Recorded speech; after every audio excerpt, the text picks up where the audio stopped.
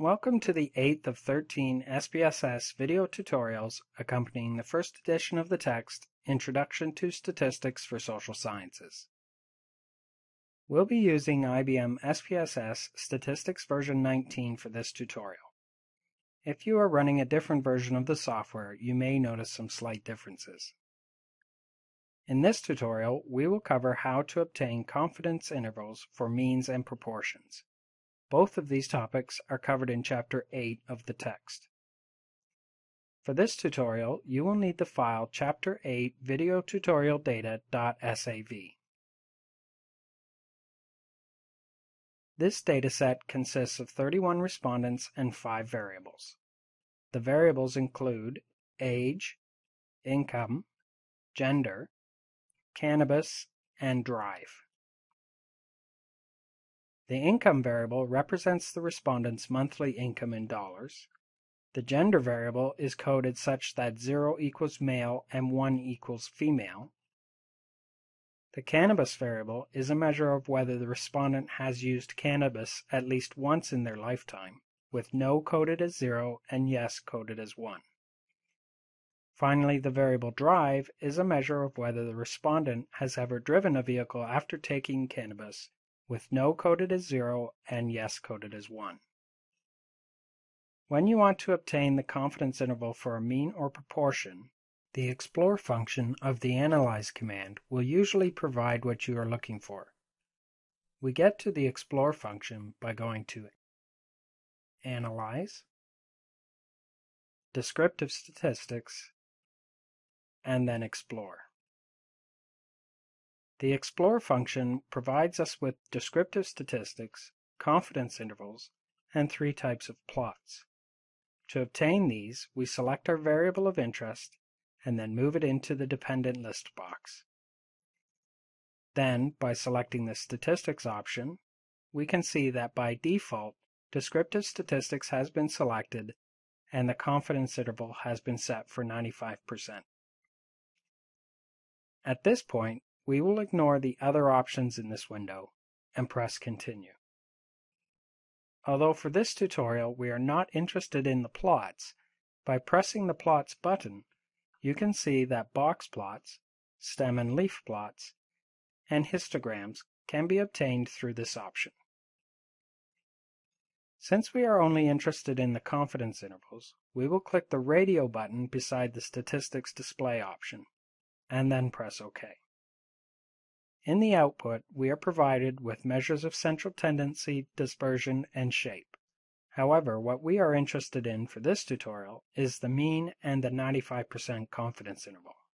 SPSS provides us with the standard error that is used to calculate the lower and upper bound of the confidence interval. Since the population standard deviation is unknown, the standard error is calculated as the standard deviation divided by the square root of the sample size. The lower and upper bound of the confidence interval are then calculated as the sample mean plus or minus the critical value of t, which at 30 degrees of freedom is 2.042, times the standard error of the mean.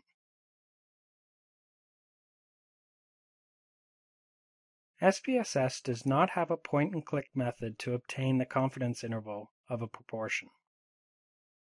Therefore, unless we use SPSS syntax, which is not always the easiest to do, the best we can do in SPSS is to get an approximate value of the confidence interval. To do this, you need to ensure that your variable of interest is coded as either a 0 or 1, with 1 being the category that you are interested in estimating the proportion for. This is because when we use the explore function, SPSS will estimate the mean value of the responses.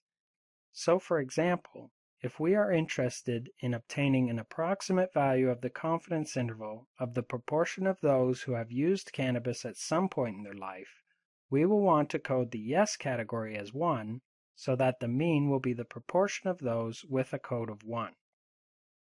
We can then follow the same process as our previous example using the explore function.